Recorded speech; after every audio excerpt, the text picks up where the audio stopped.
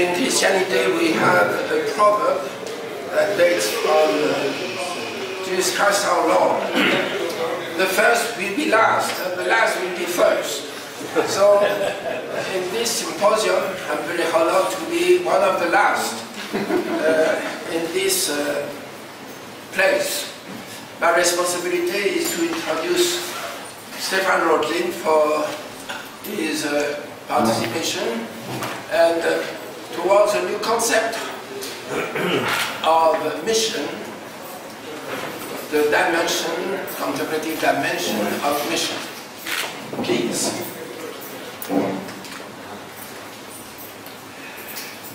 Thank you very much, uh, uh, I want also first to share my gratitude and also the insight uh, which gave me to link this special jubilee of 20 years with this special topic. It's, I felt very enriched in my studies through this French approach to spirituality. And so tomorrow we will actually honor these uh, French uh, saints, Jean de Brébeuf, uh, Isaac Jogues, and also we should think about the, their Tertian master Louis Lallemand, who was accused by somebody to have a spirituality uh, not proper for the Jesuits, as he very much emphasized the importance of contemplation. But I think if we look into their life testimony of these so-called French Canadian martyrs, we see this intimate link between uh, contemplation, mission, and uh, martyrdom. So I want to uh, share with you this contemplative dimension of mission and uh, not just too narrow-minded, focused at 20 years, maybe, yes, we celebrate of the Macau Ricci Institute together with our friends from Taipei Ricci Institute, and we think also of Paris and San Francisco, but as maybe an important step also 20 years ago of an insight of uh, John Paul II to really tap much more into the wisdom traditions of Asia. So that's what I want to uh, simply share with you. Why also to choose this topic? It's the ambiguity of the term mission. Even among the church people, if you talk about mission, they feel kind of uh, maybe uh, skeptical in terms, what does it really mean uh, to impose my Christian values on others? So I see this as, as we say in Chinese, a crisis, a weiji, also which includes an opportunity and the risk of mission. As I was referring to meaning what is faith, uh, according to the specialist of St. Paul Norbert Baumert, is the courage to trust, the Mut zum Trauen. And another point uh, I want to touch, what is the contemplative dimension of mission and how it relates to the witness of the martyrs. So, looking actually at these two fellows uh, embarking into a new uh, world, we also, of course, have to be kind of aware uh, it misses out other important missionaries, which are not just these priest missionaries, but lay missionaries are as important. But it's true, as uh, Karl Rahner pointed out, that something really new of the Second Vatican Council was to stress that lay and religious priest missionaries are absolutely on the same level. So the questions we have to face is, does mission imply to impose Western values on other cultures? Does it imply a subtle sense of superiority and uh, disregard? And finally, which is the philosophical and theological foundation of mission? We recall this kind of sense of frustration of the Jesuits when they concluded the General Congregation in 95. They felt we need a new kind of theology of mission. And I'm not sure that we kind of completed this task in the last 24 years. So here is for me a key passage in this uh, encyclical letter Evangelii Gaudium, the joy of the gospel, number 264, when the Pope says the best incentive for sharing the gospel comes from contemplating it with love.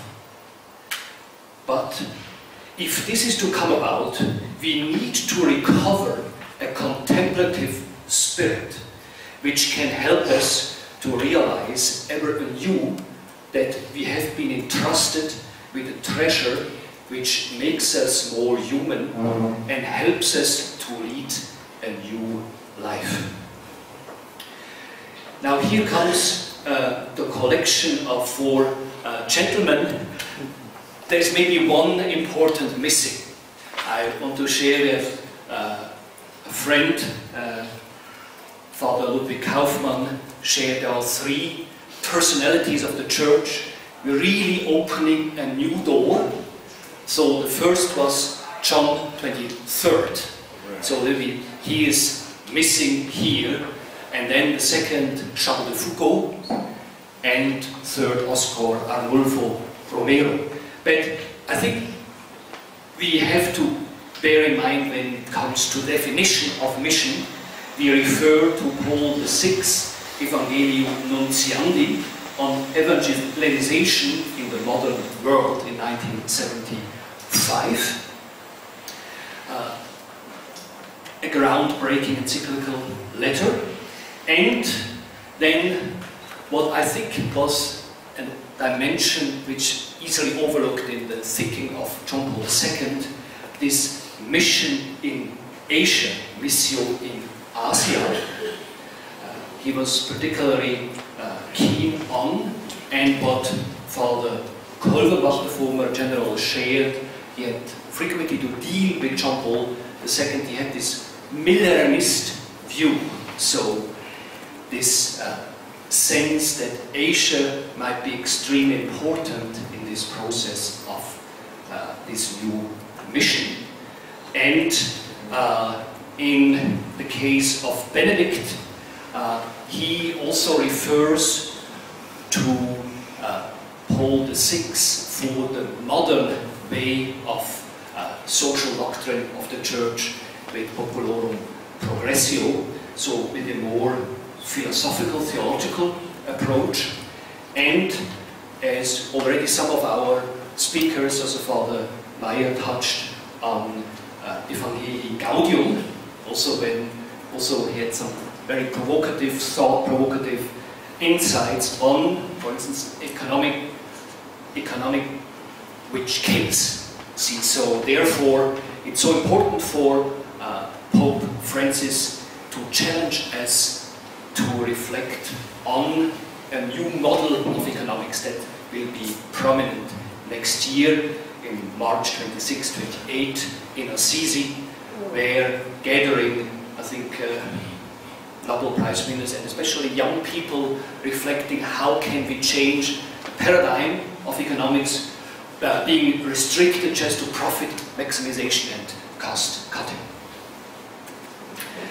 So milestones also, I recall also some also insights of a mission which is vivid for the poor. I think a milestone is also uh, Father Martin Meyer uh, very nicely pointed out was the Latin American Bishops' Conference CELAM in Medellin, 1968, uh, and confirmed in Puebla in 1979 as this preferential option for the poor, la opción preferencial uh, para los pobres.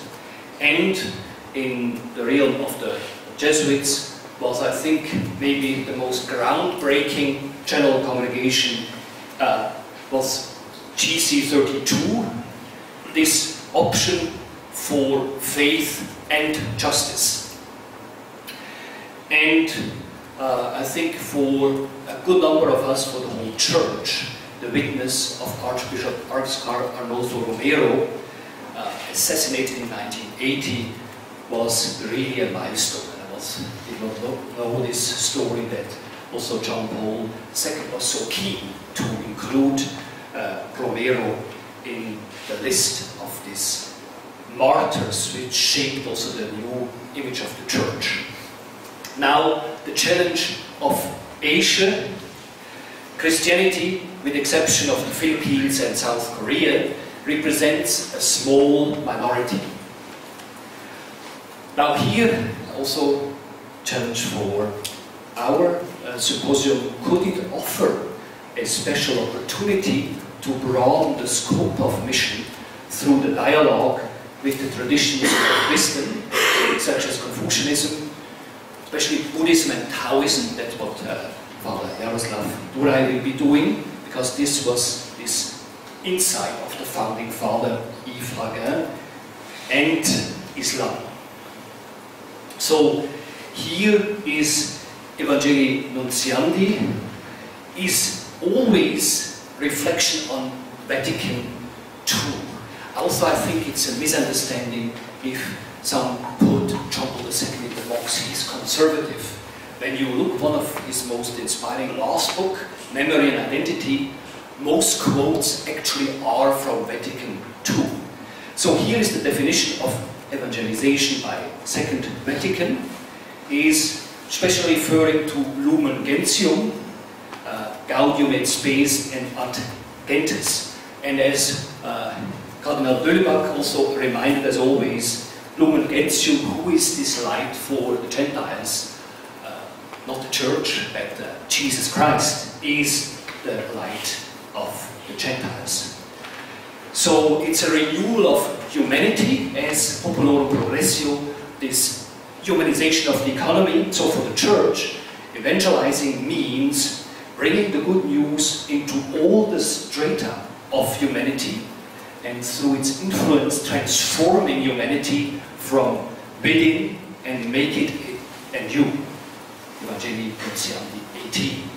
So we have this, all these mutually enriching key elements, as you say, witness, then explicit pronunciation, uh, and we have also the inner adherence, so really embracing these uh, values uh, and entry into community, renewal of humanity, exception of the sign, and also uh, an apostolic initiative.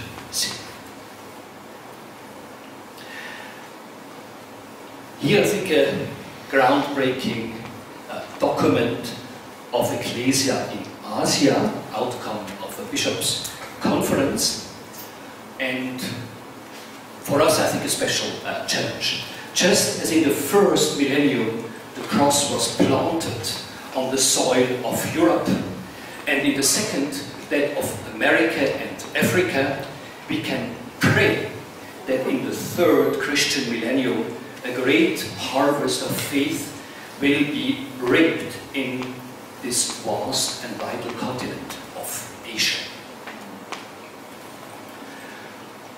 The Asian context, Jesus as Savior, the Holy Spirit as Lord and Giver of life, proclamation of Jesus in Asia with a focus on inculturation, communion and dialogue for mission, with a focus on ecumenical and interreligious dialogue, the service of human promotion, and Christians as witnesses to the gospel.